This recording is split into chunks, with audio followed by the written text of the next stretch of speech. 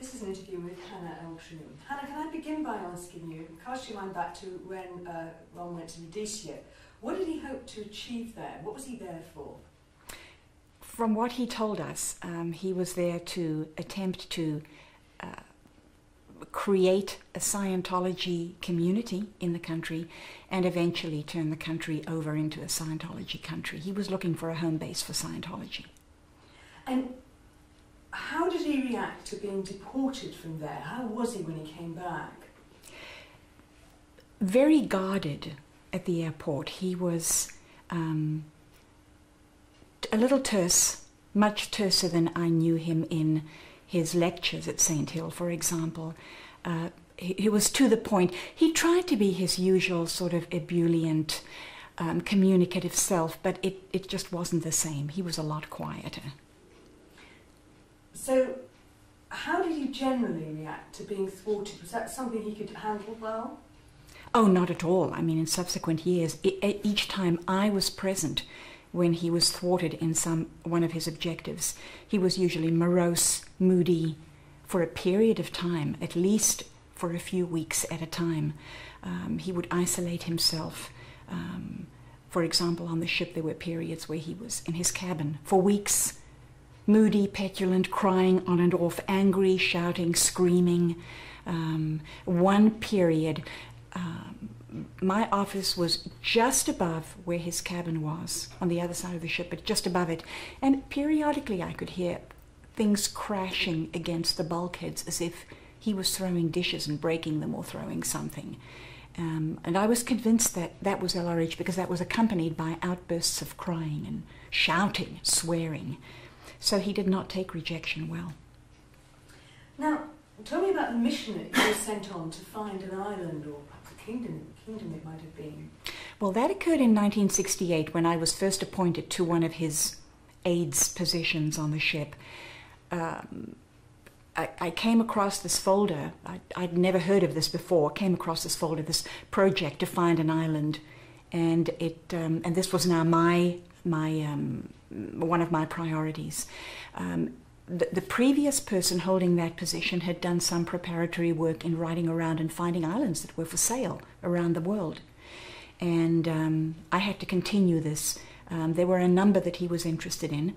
Some already uh, had docks built and generators and buildings on them. Others were just barren islands.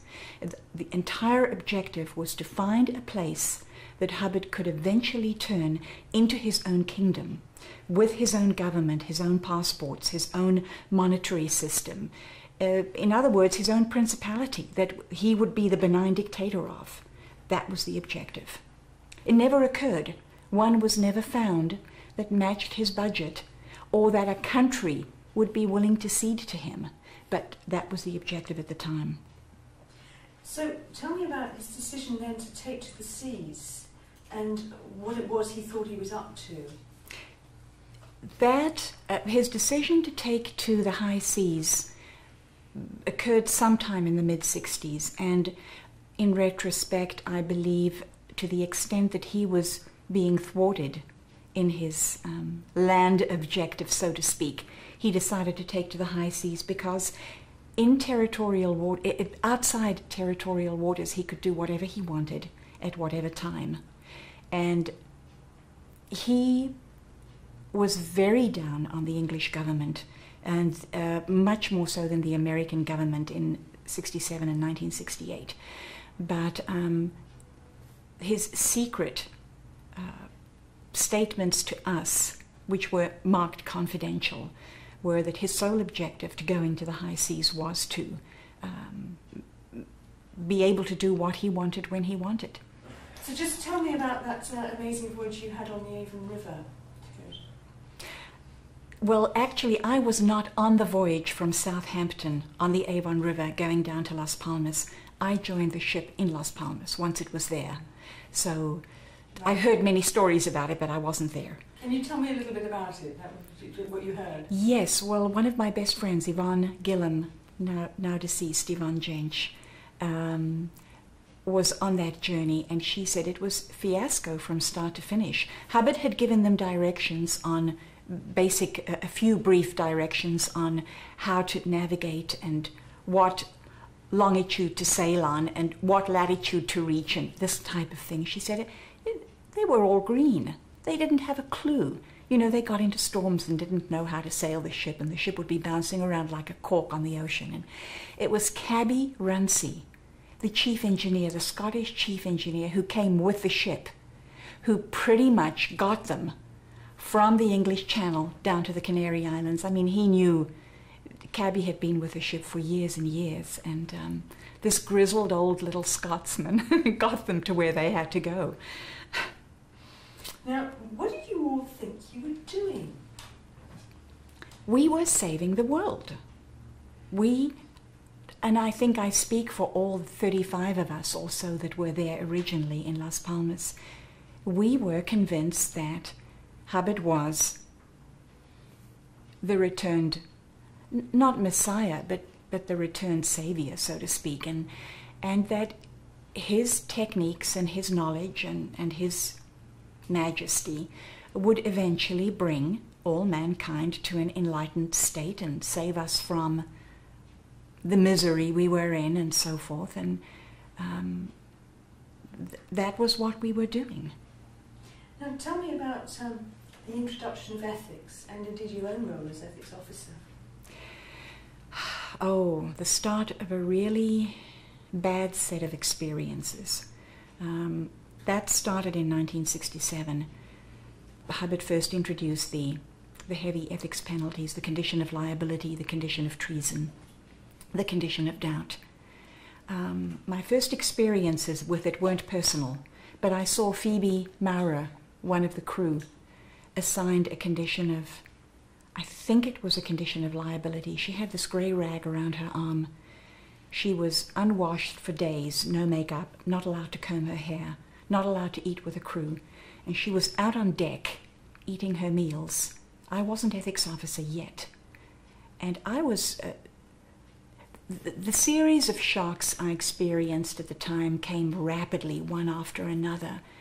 Uh, and now looking back, I see it as a, a conditioning into that hard, the harder person that I became, um, the more brittle person I became. Um, that was the first one. The next one was Terry Dickinson, second electrician, who I, by that time I was the ethics officer, the, the master at arms, and Hubbard ordered me to watch over Terry for as long as it took until Terry got a Sharps radio flown from New York and installed on board the Avon River Bridge because he'd failed to do this. And his penalty was I couldn't let him sleep until he'd done it. And instead of seeing this maybe as a test of my loyalty or being amazed that, that Hubbard could be this brutal, um, because it would take days to get that flown out, I simply accepted this punishment and Hubbard had told us a little earlier it's going to take a lot more ethics than any of us know to save the people of this planet. And that's what I accepted, that's what I operated on. I kept Terry up for five days and nights. I kept myself up for five days and nights, no sleep, to the point where he was a blathering idiot, until that Sharps arrived on board and was installed. I finally wrote my compliance report to Hubbard. And looking back at it now, you know, I'm, and he was he was this sort of triumphant, this this gleam in his eye was like, I'm going to win no matter the cost, no matter who I have to mow down. I'm going to get my objective. And it all I all I had at the end of that was shock again. It was um, I didn't, I didn't dare to stand up and question that kind of authority. What was his temperament like by this stage, and how brutal did he become? Um, very rapidly, he was getting more and more brutal to the point where the first incident I remember is he put, or one of the first, he put this four and a half year old little boy, Derek Greene, into the chain locker for two days, two days and two nights. Uh, the chain locker is that part of the ship right up in the front of the ship where the chain is kept when the ship isn't out in the ocean. And it's a, a, a it's a closed metal container. The, chain is coiled up in it. It's wet. It's full of water and seaweed. It smells bad, mud, um, and um, there's only an escape hatch out and then the hawse pipe through which the chain runs. So it's dark uh, when the chain is in there or when the chain is out, it's dark. But Derek was sitting up on the chain in this place on his own in the dark for two days and two nights. He was not allowed to go to the party. I mean, he had to go in the chain locker on his own, soil himself. He was given food. And uh, I wasn't. I never went near it, uh, the chain locker, while he was in there. But people heard him crying. Um, that is sheer, total brutality. I, that is, that that's um, that's child abuse. You know, I mean, these days, you know, people are are locked up, imprisoned for child abuse. And this had happened to Derek because he happened to wander into an area where Hubbard's telexes were being worked with. He ate part of a Hubbard telex and he threw David Ziff's jewelry case overboard. Well, these are the kinds of things that small children will do if they're not looked after. Tell me about when he made you the captain of the ship. Early, early 1968, on uh, the, the journey Mission into Time, as it was called.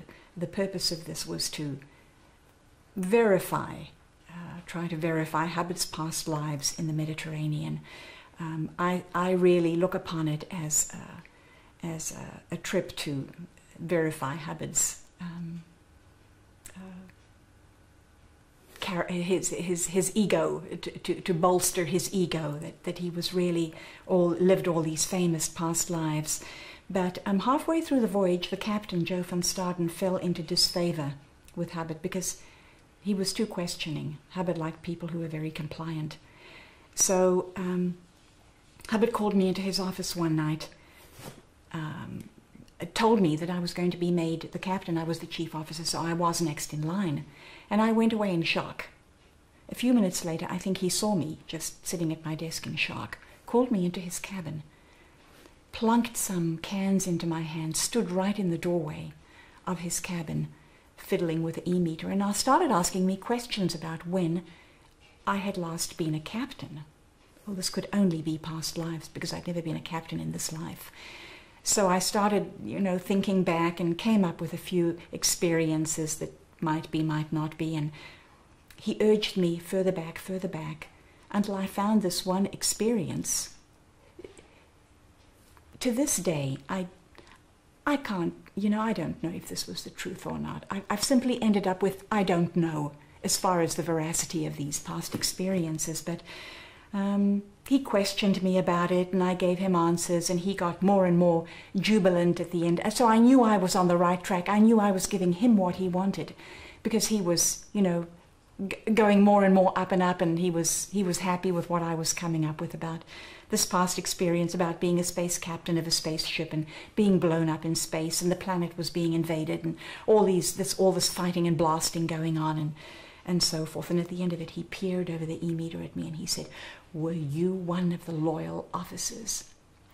No, and I looked at him, and this didn't. This had no meaning to me at all. And I just simply said to him, "Sir, I don't know." He finally said, "Okay, okay," took the cans away, and he said, "You'll do fine now. You'll do fine." And I wandered out on deck, and and suddenly it hit me. I had a peak experience. I realized that I had to have been someone in the past maybe connected to something special because of his responses to what I was telling him. And at that point, you know, I got this up rush, I got this adrenaline rush, and I felt good. I must have been one of those loyal officers. I must have been one of the elite. You know. And then he saw me later on, and I nodded to him and smiled, and he gave me this great big beam back because he got that communication, you know, that I realized what he had asked me, and it was okay. You know. But just so that we know, you were what? Early twenties? Oh, I was I was 24 years old. I'd I'd been on a cruise ship once. I'd no experience at all. I, I, I knew what he had taught us on the bridge, and he had taught us well. He'd taken a few of us and taught us, and but apart from that, no, I had no sea experience at all. In early uh, 68, Hubbard announced on board the Apollo that he was going to do this um, this mission to verify past lives and that he had lived. He he gave us a brief précis on the, the fact that he lived these various past lives in the Mediterranean, been a Phoenician captain and uh, been a wealthy landowner in Italy and so on, and had buried treasure in various places. And he wanted to go back and find those locations, verify them, verify the treasure was buried, and if possible, retrieve the treasure. So on the Apollo, then called the Royal Scotman, it hadn't been named the Apollo yet. Uh, we were in a, in a tizzy, you know, all this, this excitement at this upcoming very important mission.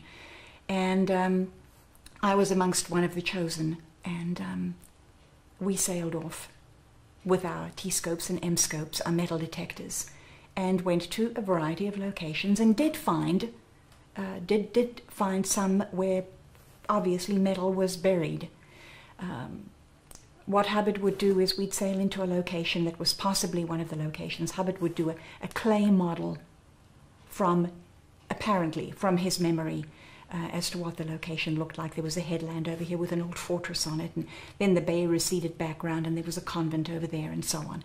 And a few of us that were going ashore would study the clay model, get into the little ships, go ashore, see if we could verify that the terrain looked that way or that there had been an old fortress on the peninsula here and so forth. Come back to the ship, report our findings to him. And either it was a yes, sir, this looks like it could be the terrain, at which point he would come ashore to verify it himself. If it wasn't, we'd sail off to the next point that might be the, the, the location. And um, one of the one of the ones which um, in his little booklet, Mission into Time, one of the ones in which I mentioned in the booklet was uh, in Sardinia, this, um, uh, this uh, I think it was called the Temple of Nora, the site of Nora, N-O-R-A, in uh, which we did find, we did um, use the metal detector and located at the basement of what he claimed used to be a temple, in which he had liaisons with some some priestess during his trips to Sardinia um, was uh, there was metal, metal buried down below, and um, he was uh, very triumphant during those times. That uh, he would strut around in his island outfit. I used to call it. He had an outfit for every occasion. And he would have his explorer hat on and his bush jackets and or his big capes, and he'd you know come come onto the island with his cape billowing in the wind. It was all, it was all very arty and, and very, um, it was very heady stuff for us people because he played the role. And that somehow magnified the importance of the, the, the, history that he was making, the story that he was telling, and the impact it had on the followers.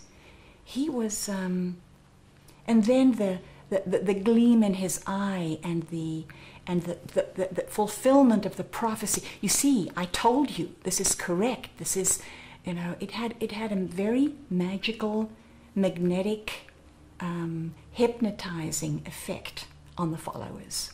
Did you actually ever dig any treasure up? No, never. Um, now, whether by whether by chance or what, um, for example. Uh, Sicily and Sardinia were, I think, under the Italian government. Most of any treasure dug up, like 90, 95%, 92%, 99%, goes automatically to the government. So that the founder, that the discoverer, gets only a very small percent. And Hubbard categorically stated, when I dig up that treasure, I want all of it. It's mine. It's not going to go to a government.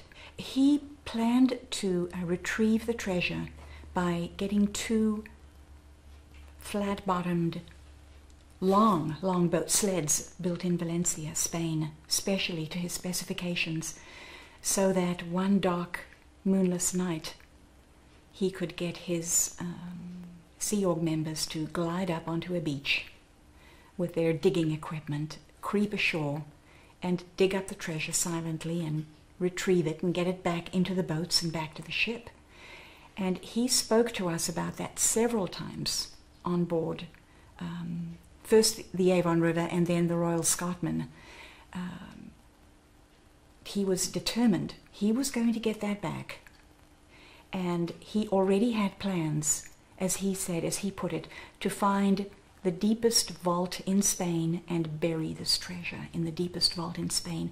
And that statement stuck with me for the longest time because later on, many years later, when I heard about the Swiss bank accounts and how much money was in those, I thought, that's right. He loved the idea of burying treasure, money in vaults and just hoarding it. That was what he wanted. Okay. Um, now, tell me about the uh, introduction of the RPF, which was obviously a very uh, brutal thing. Um, in 1973, um, Hubbard had uh, an accident in Portugal and got pretty badly um, injured. I think his arm and his back. And he was in his cabin after that for a number of weeks. This was his period, which I call the pouting, the crying, the, the mad period, where he would cry and throw things against the wall, the, the bulkheads, and pout and scream. Um, he was in a bad way. I don't know what offset that period of moroseness and um, crying and so on. But right toward the tail end of that, he created the RPF, the Rehabilitation Project Force.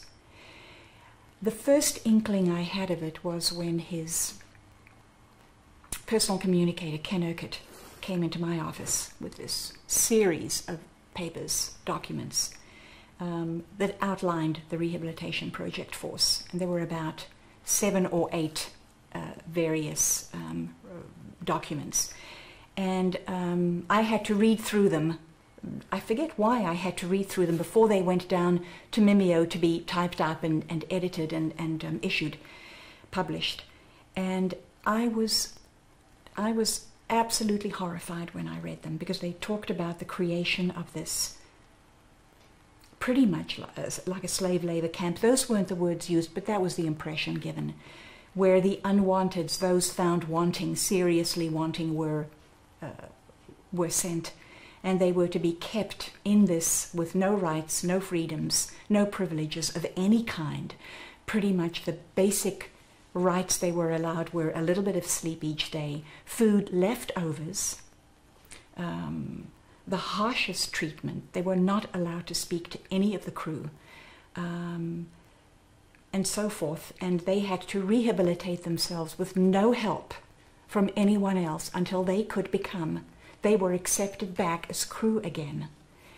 And the people who were who were relegated to this this position, this this demeaning position, had maybe hadn't met Hubbard's standards, maybe had had a meter phenomenon on the E meter, which meant that they were harboring negative ideas about Hubbard or about the ship or about Hubbard's designs or goals. Um, and that horrified me as well that something that simple could be used to invoke this kind of terrible punishment on someone. All of us were there of our free will. All of us were there because we wanted to help Hubbard. How could somebody be found this wanting um, shortly thereafter, the, these people who were found the first ones chosen to be put into the RPF uh, were appointed, and the place they slept was lower hold number one. That was chosen. The bow, the pit of the ship. There was no light in there. A few light bulbs were strung across the top of the hold. There was only one steep, steep ladder companionway down into the hold. It was the storage place for some of Hubbard's archival material in, in huge big uh, suitcases and so on were down there. Otherwise, apart from that, a few mattresses were thrown down on the on the decking, and this is where this is where the crew slept.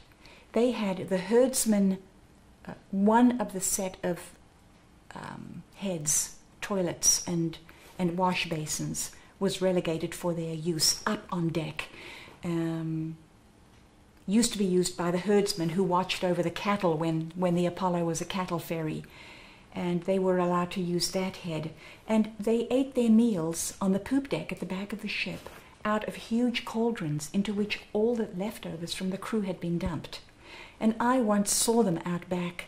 Uh, the, the huge cauldrons were brought up from the galley, put on deck, and these people went over and with their bare hands in their filthy, dirty skivvies were eating out of these big pots. And it was like, I felt I was watching something out of, you know, the medieval history period. It was, it was very, very, very bad that this was going on. But Hubbard's statement to us was that it's going to take a lot more ethics and a lot more punishment than anyone has can easily face up to to get this whole world back in shape. And at that point, I believed that statement. Now, one of the other things he did was um, uh, overboarding. Just tell me what happened there and how some people were chained behind when they went down blindfolds, that sort of thing, and what sort of thing they would have done for that punishment? Yes. Um, in 1968, Hubbard held what he called his first uh, Class 8 technical training period on board the ship, on board the Apollo in Greece. We were in Corfu at the time. And as punishment for those who didn't do their assignments, their auditing assignments correctly, they, they goofed in their auditing assignments, they were overboarded. They were thrown overboard in a ceremony held every morning in the harbour. And now, you know, you think of throwing somebody overboard, and it seems fairly shocking. It, it, seems shocking enough. But the, har- the harbour where we were was right at the end of, of, a, of a pier where the water collected. So there was a lot of oil, a lot of refuse, a lot of um, old papers and, and garbage and stuff floating in the water, rubbish floating in the water. And so people were thrown overboard into this rubbish, into this dirty, filthy water, which was bad enough. Um, but some of them were actually thrown overboard if you had a second offence or a third offence or a multiple offence. The penalty increased and you were thrown overboard with a blindfold or with hands tied behind your back or with your hands and feet tied. And I saw one woman, um, Julia Lewis Salmon from the United States, thrown overboard. This woman must have been in her 50s. Um, she was had her hands and I think her feet tied, maybe only her hands tied and a blindfold. But she went over. She was so panicked at the thought of being thrown over this way. She was standing on the edge of the deck, panicked, um, beside herself, shouting. It, I, I was afraid that she was going to have a heart attack or, or something. And I was standing on, on the A deck with Hubbard and his other aides watching this, this going on. And Julia didn't jump over, she had to be pushed over because she was incapable. She was in such a, a fit. And she fell into the water at some odd angle, screaming and spluttering. And I, I truly think she would have gone under. I think somebody else had to jump into the water and help her get off her blindfold and undo her hands and get her to the side of the ship where she could climb up the bosun's ladder. Um, what was uh, coming ashore now? What was his master plan for coming ashore in Florida? What was he up to there? Well, when when he fi- when Hubbard finally decided to come ashore from the ships, um, all we had uh, the, the, ship itself and, and the the Scientology aspect of the ship had grown so unpopular in the Mediterranean and the Caribbean that we'd run out of territory to sail. That was what prompted the move back into the United States. And um, the master plan was try to get everyone ashore into Florida and then secretly, quietly set up a base of operation from which eventually it would surface that it was Scientology. So we were brought ashore in Miami and taken up to Daytona, where we stayed for a month or two while the Fort Harrison Hotel in Clearwater was purchased.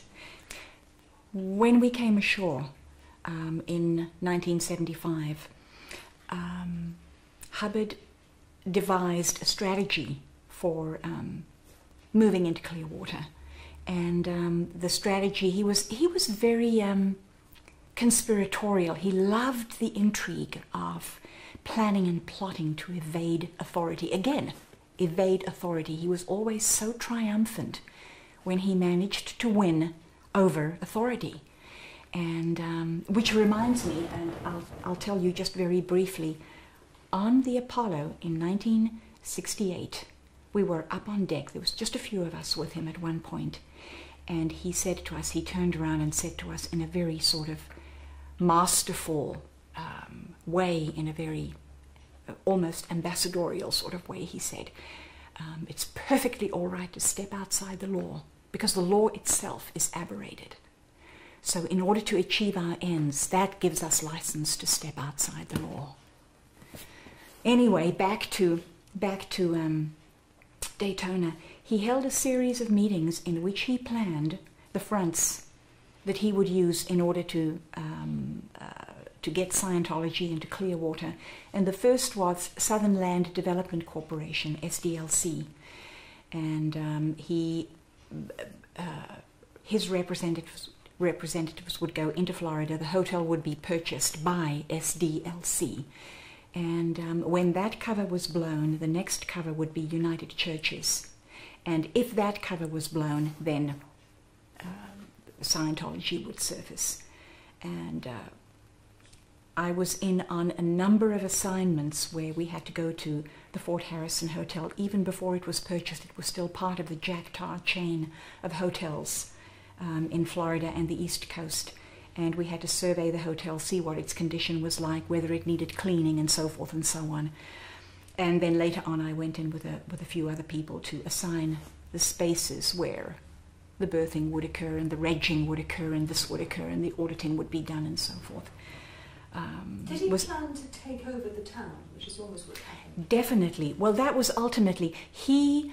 One of the he joked about choosing Clearwater because he liked the name of the city. He thought it was very appropriate. And his, the, the plan was eventually to take over and create it as a Scientology bastion. Yes.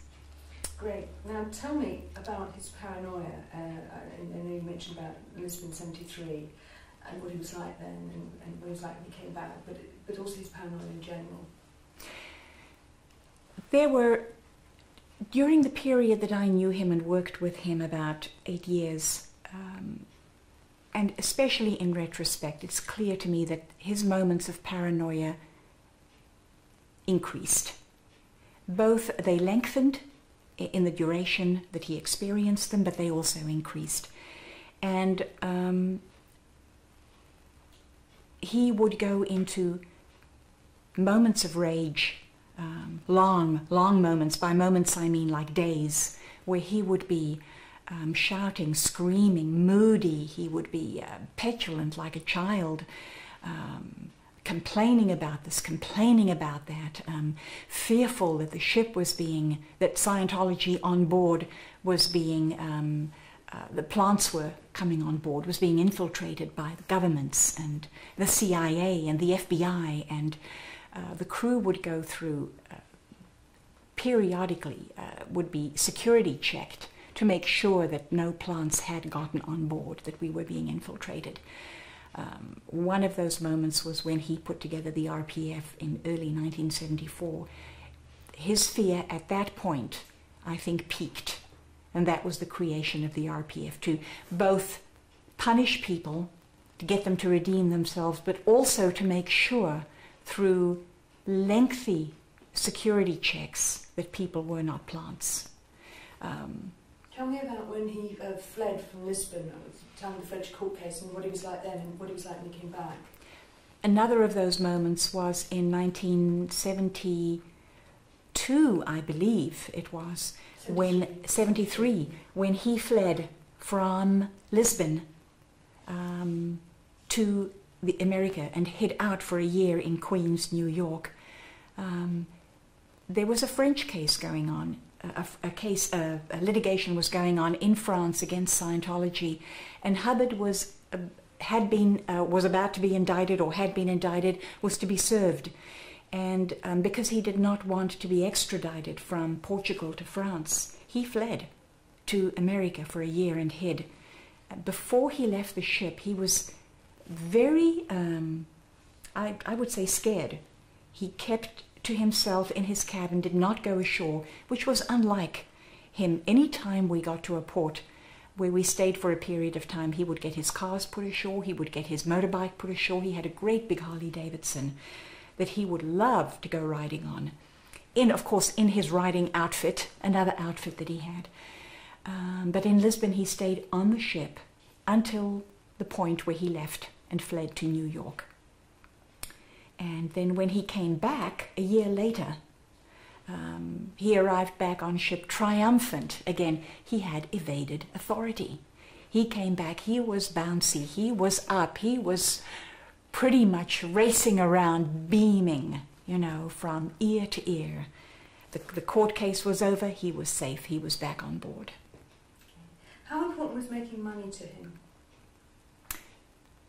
Making money, I think, to Hubbard was paramount.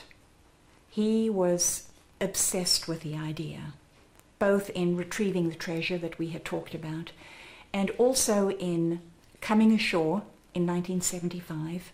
He stated a number of times in the briefings he gave us when he was planning those strategies of his as to how to get into Clearwater that coming ashore would be profitable because we could get so many more people to the Flag Land Base, as it was to be called, for auditing and training. And he also wanted to concentrate on getting professionals to the land base because, of course, they had more accessible money. They had pension funds, they had children's education funds, and some of these he named um, that were accessible. Okay. But money, it wasn't money for its own sake, was it? It was money for power. I would say yes, not yes. The, the money that he wanted predominantly was for power. Um, not he was he wasn't that interested in it for himself. He did have perks. He did have his cars, his motorbikes, his books, his good food, his and things like that. But and eventually he had his his villas and he had his estates and so on. But he was mainly interested in amassing the money. Um, I th- I think he knew that having those resources, those hoards and hoards of money put away, would eventually get him out of any spot that he might get into. I'm just going to ask you something which I didn't say I was going to ask you, but you've mentioned it a couple of times. Just tell me about his love of dressing up and having the right uniform for the right thing and what that shows him as a flamboyant sort of character. From the first time I, I saw Hubbard at, during the St. Hill Special Briefing Course lectures in 1966 onward, I saw him dress up in so many costumes that I can't count the number. He had a costume for L. Ron Hubbard the artist. He had a costume for L. Ron Hubbard the lecturer. He had a costume, a, a different ride, uh, outfit when he went out on his Harley Davidson. He had an outfit when he went out photographing in, in the Caribbean. He had an outfit when he would have dinner with his family. I mean, he changed constantly. He wouldn't have he had his outfit when he was the captain on the bridge. And this lent a certain mystique to the man, because not only did his word count to his followers, but in presentation, there he was um, living what he was preaching, so to speak.